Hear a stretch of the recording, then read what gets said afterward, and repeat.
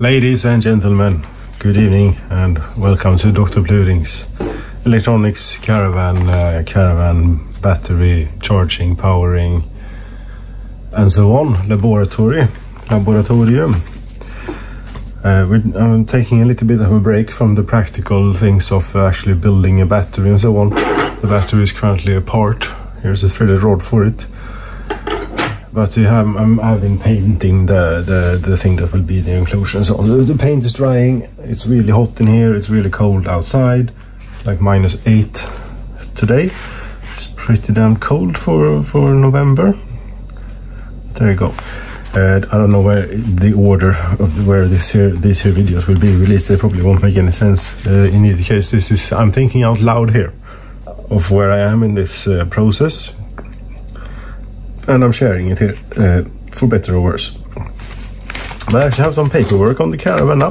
It's now actually mine, uh, also in the in not only in, in that I ha have an agreement with the previous owner, uh, but I've uh, actually paid for it and I have also actually gotten the registration papers and everything. So it's now mine according to to the to the uh, what do you call it, the Transportstyrelsen, the Department of Motor Vehicles, the DMV, or the equivalent, Transportstyrelsen. So if you look up the registration number, now the, my name will come back as the owner since since a little while back. But there you go. Uh, never mind. Um, this is now about the charging of the battery uh, and such. I've, I've had a drawing of this before. I couldn't quite find it uh, right now, but it is. Uh, it will be in here now. It is quite. Uh, no, it isn't. But there are other things here that could be of interest. Uh, def definitely, the, the electrical schematic of the caravan. right. So is this actually mine? Uh, yes. Amethyst GLE. Grand Lux uh, exclusive, maybe. I don't know what it, what it stands for, but this is apparently the electrical schematic of how it is now. Um, see here, where is the battery? There is the battery. The battery will be uh, replaced by uh, basically one of these, a voltage regulator of some kind, or multiple of these in practice. but that's that's for using power. That, that's I'm not quite there yet. I'm, we're at the charging state now. So I'm going to have to draw out this again a little bit. We have solar panels, maybe three, maybe four of them. For hopefully we have a happy sun shining on it and not too many clouds. We say that we connect them in series and so on, and we have a solar charge controller. Your writing is terrible, mate. Yes, I know. They go into there. Uh, my home, my home built battery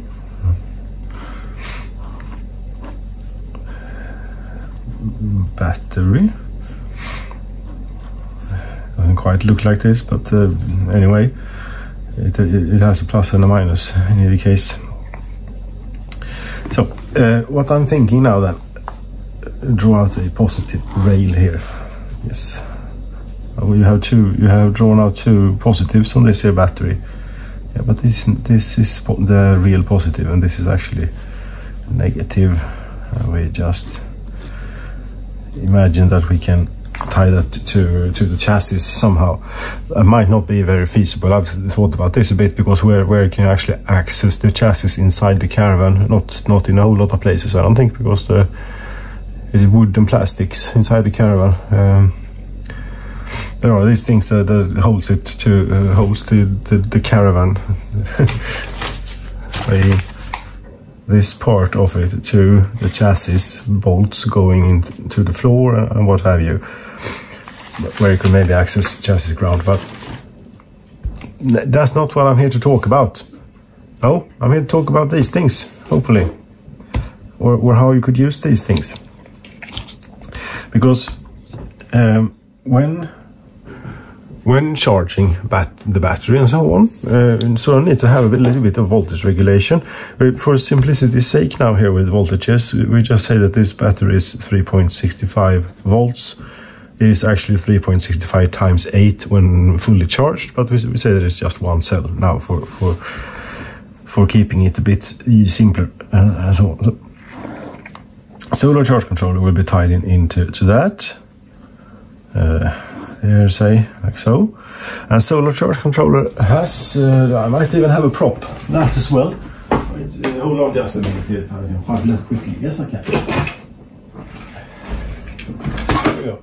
Solar charge controller. This is not maybe the one that I'll use uh, because this is, it says MPPT here, yes, but that's only the name of it because this is a PWM solar charge controller. Uh, it claimed 40 amp uh, rated, but I don't know.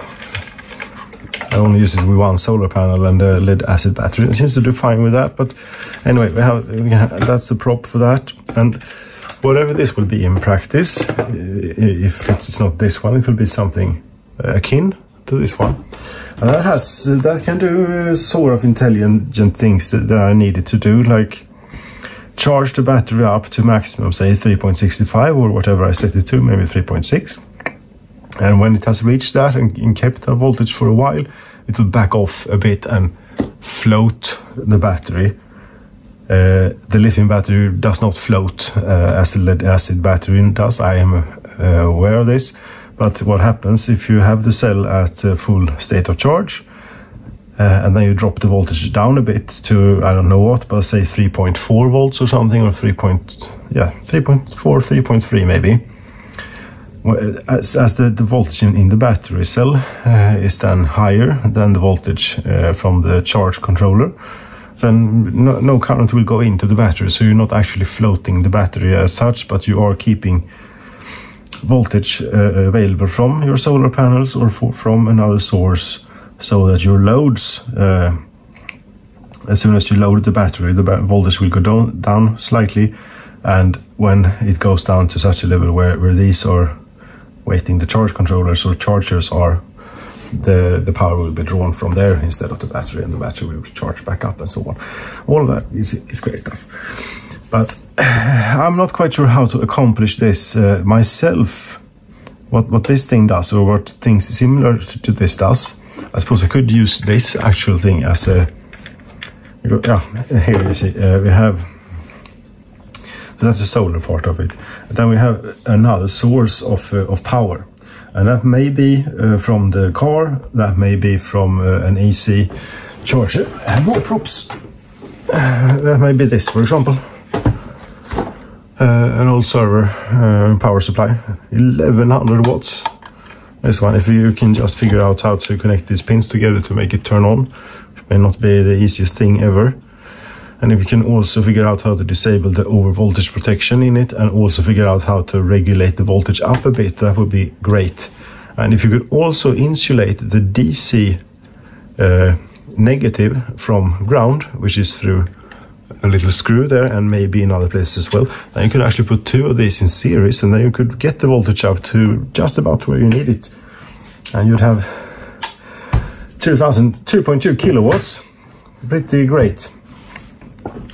However, these things will not be able to cope with that. But in either case, we have a we have a DC source of power here for of some description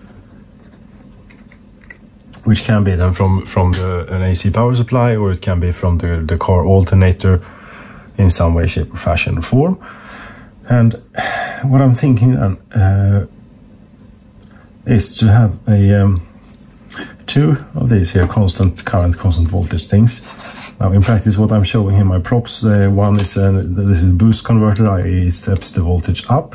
This is a buck converter that steps the voltage down. But it, regardless, they both have the feature of limiting both voltage and current coming out of them. I think that in general, uh, the buck converter is preferable to use. So if you can get a higher voltage than you need uh, for charging, uh, this process of stepping it down is uh, easier and more efficient, maybe slightly, than stepping it up. It would appear so because this uh, well, this has stuff on the backside. This has stuff there.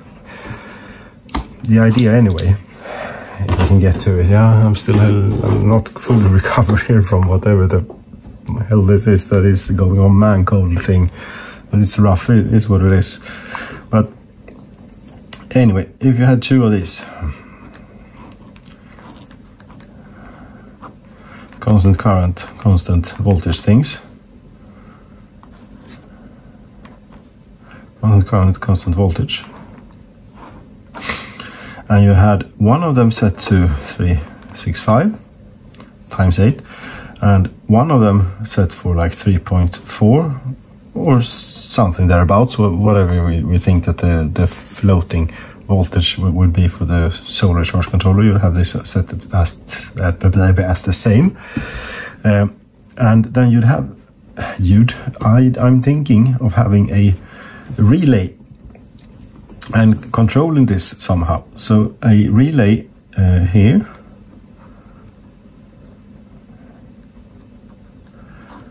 like so and uh, I don't know if I need a relay for this one. This will be on. Oh, I don't need a relay for this one. Uh, so you'd have a relay here, and you'd have some sort of device, um, voltage monitor, say. So this is a very simplified charge controller. Um, you could could put it something that is monitoring uh, the voltage uh, here. It checks here what is the voltage and if it is um, below uh, 3.65 it uh, it simply closes this uh, there closes this relay and allows current to flow through the that thing and this thing uh, the 3.4 at 3.4 volts that's connected all the time um, well, I'm thinking at least it ought to work like this uh, be because you, uh, it's really difficult to get two of these. Uh, imagine that these were identical now and this was a uh, buck converter just as this one. Even if you were to set these at uh, so that uh, your voltmeter would read the same voltage out of them and try to use them in parallel for driving a load, it wouldn't quite work because they would not be uh, exactly matched and one would end up uh, carrying uh, most, if not all, of the load in practice. But I'm not driving a, a load. I'm, I'm, trying to charge a battery, and I'm I'm thinking that as long as the cell voltage is below 3.4 volts uh, from from here, this one ought to to contribute. Um, quite a lot as well as this one. Uh, because when the voltage is below 3.65, say, or whatever you set it to, practice, I, would probably set it to like 3.5 or something. Uh, yes. Uh, and I'm, at least I'm thinking uh, that most of the time, when the battery is not fully charged or not fully depleted, it will be around 3.2 volts and then it ought to work. The, the current from your DC source here, they will, they will, will be tied together to, to the same DC source, whatever that may be. Uh, will they really? Maybe, because you have AC coming into this uh, with a, a power supply in between, and you also have from the from the car um, uh, still, uh, that's a car. Sure, it is.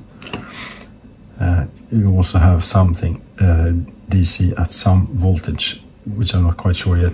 But you, you I have a voltage regulator of some kind, uh, maybe in the car to step the voltage up uh, as much as possible, as the wiring between the car and the caravan is quite thin. So you want a, high as voltage as you could safely get away with and maybe step it down again before going into this charging circuit, if you could call it that. Uh,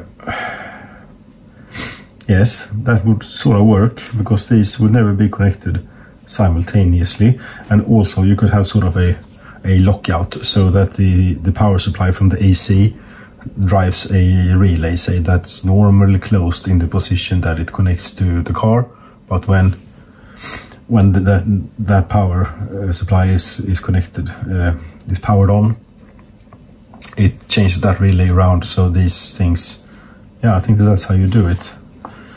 So this actually goes to the relay here. Uh, it's starting to get a little bit that has two outputs. They all do, almost all of them do. Uh, and you, it would be the other way around, mate. Okay. Oh, yeah, I'm trying here. It's it's like 30 degrees in here, so it's a bit difficult to, to think uh, and so on. But yes, it's starting to get a little bit small. But there, coil power supply drives that coil. Uh, incoming power from car is connected there and uh, it is also connected from the power supply here like so so it can switch in between those but the, the core of the thing uh, that, that I need to test is if this will work so if this one that is uh, set at the floating voltage will actually contribute uh, when this is also connected and I'm, I'm guessing and hoping and thinking that it ought to and it ought to do that. I, am hoping for this to work. Uh, it ought to do that at a, at a, decent rate too, not only just trickle through a few milliamps, milliamperes, but actually push, push uh, more or less what you have adjusted it to here uh, with, with your adjustment screws. So, so, yeah, that's where I'm at now to, to charging, uh, when it comes to charging this here thing. and um, yeah, this is for later, trying to figure out how to actually tie into all this stuff. But this is good I actually have this, because you can make out most things here. Here's the AC part of it, incoming to 30 volts.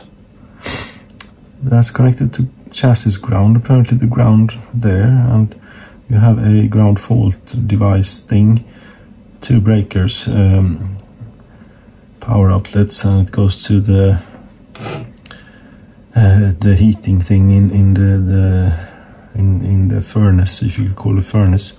I think you call it furnace because it's burning propane, or using a resistive heater powered by from the grid. Yeah, I need to refill my paracetamol and uh, ibuprofen here because I'm getting a bit dizzy now. And such, you know how it is, how it goes with this here man colds, you know. I have like two, three days, which is completely fucking awful and terrible and just impossible almost to get through.